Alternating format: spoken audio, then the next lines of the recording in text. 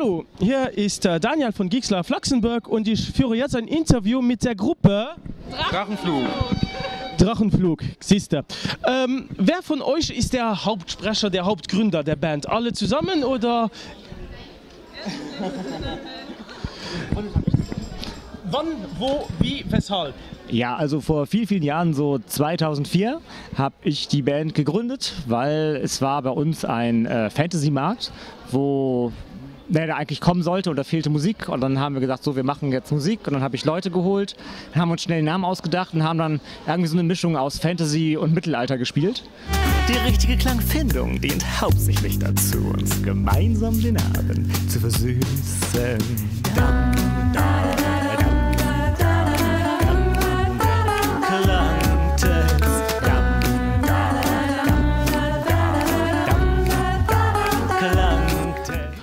Und äh, dann haben wir auf ein paar Mittelaltermärkten gespielt. Die Leute sagten immer, ihr macht überhaupt kein Mittelalter. Und gesagt, nee, machen wir auch nicht. Aber wir spielen hier. Und irgendwann haben wir gedacht, es ist zu blöd, auf Mittelaltermärkten zu spielen. Und Evi ist äh, Designerin und weiß ganz viel über Kunst und so. Und dann hat sie irgendwann rausgefunden, ey, es gibt ein Wort für das, was wir machen und so wie wir aussehen. Das ist Steampunk. Wir machen also Steampunk. So, das war so 2008, 2009 haben wir gesagt, nee, okay, Mittelalter durchgestrichen, äh, wir machen Steampunk. Ansonsten haben wir eigentlich nicht viel verändert und ja, dann kamen immer mehr Leute dazu und äh, ja, ganz zuletzt hier unser Jonas, unser neuer Bassist so und äh, ja, jetzt sind wir endlich vollständig und spielbereit von 2004 bis 2016. Okay, dann Jonas. Wie bist du zu der komisch zusammen, zusammengewürfelten Band gekommen? Ihr seid ja nicht, Oh. seht ja nicht alltäglich aus, lass mal mal so sagen.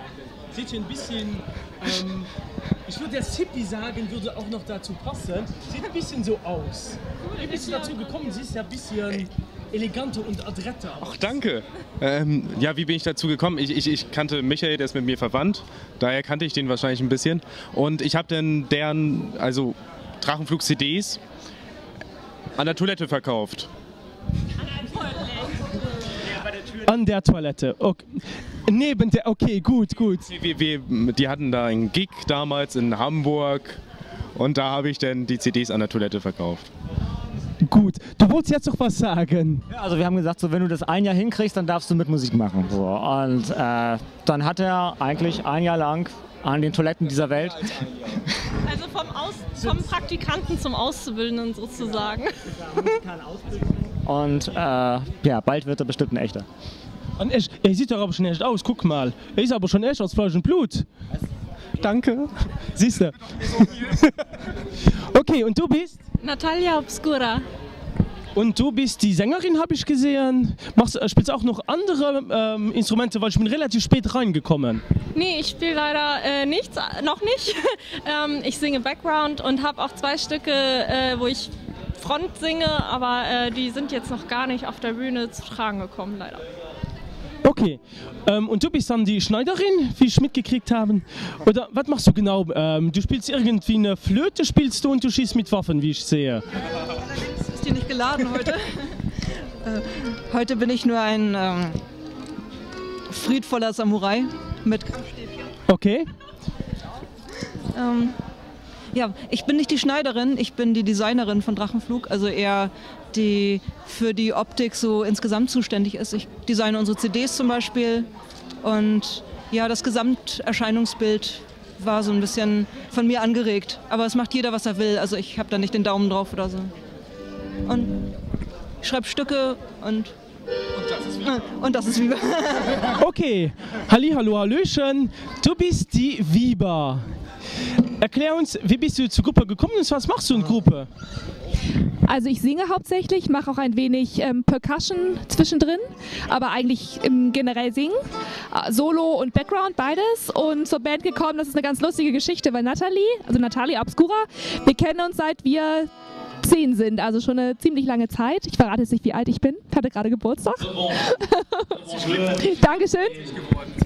Genau, 20, wunderbare junge 20. Und ähm, Nathalie und ich, wir kannten uns schon lange und so indirekt über mich, über andere Personen, meinen Geburtstag vor schon längerer Zeit, haben Nathalie und Michael sich kennengelernt. Und dadurch kam ich dann auch mit der Band in Kontakt und habe erstmal nur ausgeholfen, heißt, bin eingesprungen, als andere aus der Band raus sind, aus verschiedenen Gründen, habe beim Album beim neuen dann mitgeholfen und drei Gigs mitgemacht. Dann passte das aber so gut, dass wir dachten, ja, aus von beiden Seiten her, dann versuchen wir das mal. Also, wir haben uns jetzt ein bisschen rausverzogen, es wurde ein bisschen laut. Dann jetzt wieder eine Frage. Ähm, ihr habt ja eine neue CD jetzt released. Ja. Davon. Ja, also an der CD haben wir fast zwei Jahre gearbeitet, vom Design bis zur CD.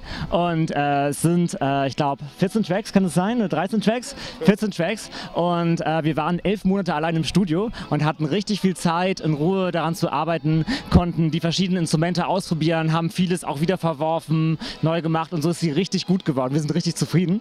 Und wir haben also gerade am Dienstag selber das erste Mal eine CD gesehen und das ist jetzt das erste Konzert. Die ist noch nicht mal bei Amazon zu kaufen. Sie ist wirklich jetzt neu. Die erste Mal haben sie dabei. Wir sind voll zufrieden. Also äh, klingt so ein bisschen äh, ja, selbstbeweihräuchert, aber es ist wirklich gut geworden. So besser hätten wir es nicht machen können derzeit.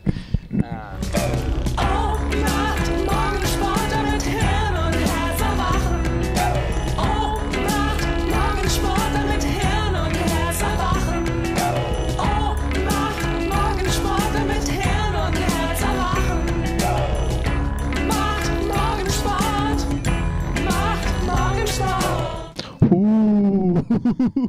Okay, ähm, welchen Musikstil ist das, wo ihr hört? Ich kann das keinem Stil nach, nach ähm, oder einordnen. Ich kann das keinem Stil einordnen. Was für ein Stil von Musik soll das sein?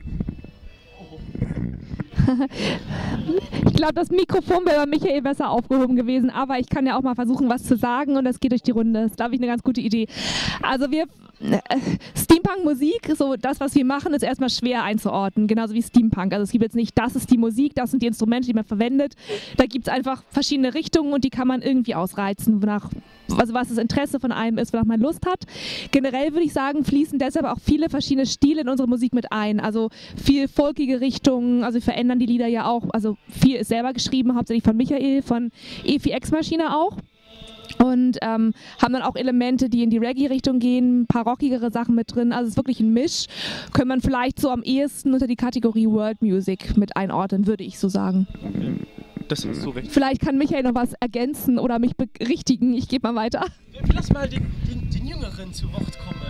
Vielleicht hat er eine andere Sicht davon drauf. Ich spiele Bass, ich habe darauf keine Sicht. Danke. Der beste Bassspieler der Welt ist bei Iron Maiden, den hört man raus. Bass ist immer wichtig. Davon abgesehen. Rausgehört? Vielleicht verspielen sich die Bassspieler, die man raushört, auch so furchtbar, dass man sie bemerkt. aber er kann auch Banjo und so weiter. also er kann Ich kann, ich kann. Was kannst du noch, ähm, was kannst noch außer Bass und Banjo?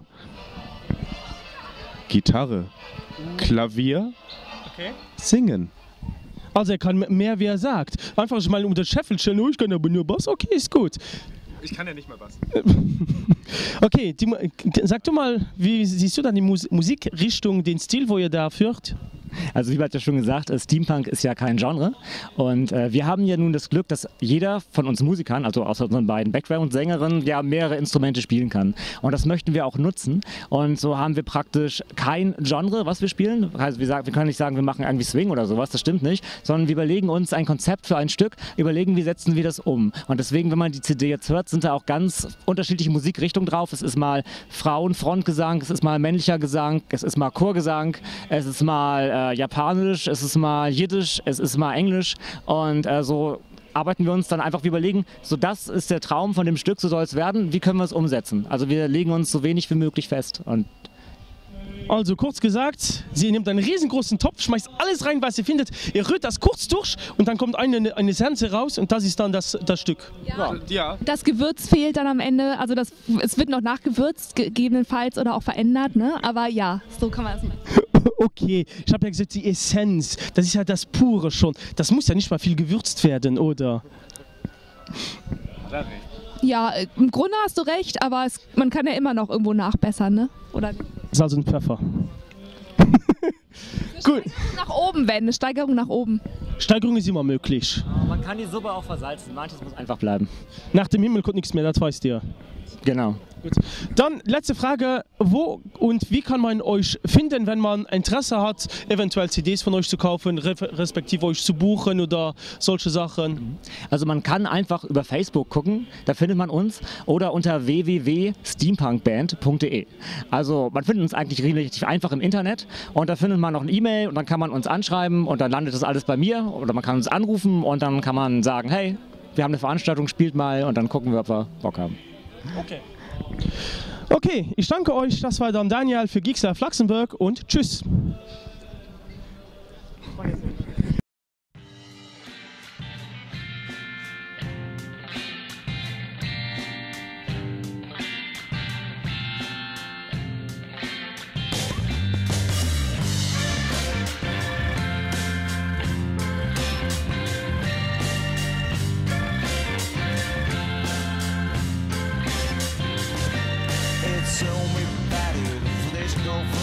が許されけど He's pretty fucking 雨に打たれ下に捨てれひどい本日の落ち物ホールだ避けること消えた自分の風はなぜなどれ甘ちぼけてる